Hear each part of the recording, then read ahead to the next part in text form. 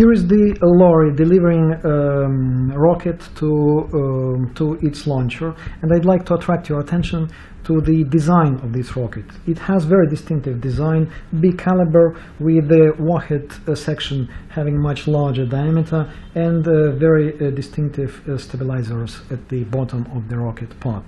Basically, that is the rocket of the same type as found in the areas controlled by rebels.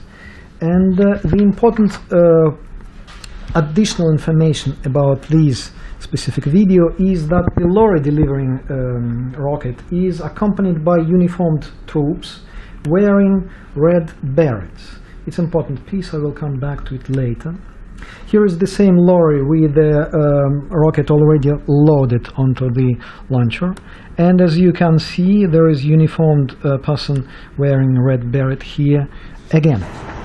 Then the uh, final preparation for uh, firing and uniformed person in red berets once again.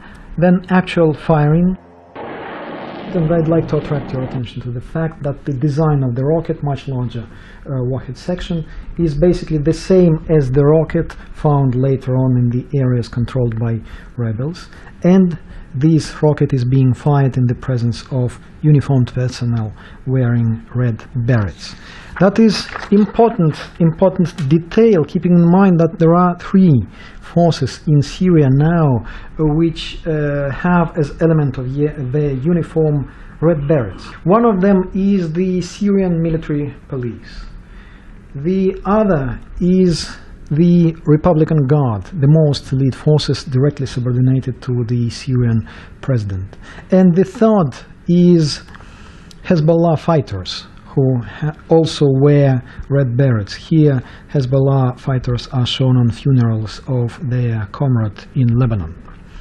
So altogether, that means that once again, as in the previous case, it might be the case that it is either Syrian troops or their uh, supporters from Hezbollah uh, used these, fired these uh, rockets, supposedly carrying chemical weapons, uh, because there are no other evidences associating uh, somebody else with that. There are people in wearing red berets presented at the firing site.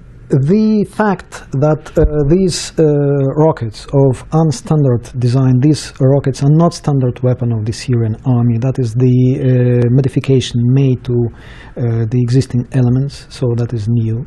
Uh, and the fact that uh, the personnel wearing in uniform, wearing red berets, are constantly present at the launch sites of these rockets, which later on found in the areas affected by the chemical uh, attack, uh, leads to the conclusion that it might be the connection between the either Syrian uh, army, Syrian forces themselves, or forces supporting uh, Bashar al-Assad in this conflict. Uh, Hezbollah, there, it might be a connection between them and use of these uh, rockets, which um, probably delivered chemical uh, agents to the um, areas near Damascus.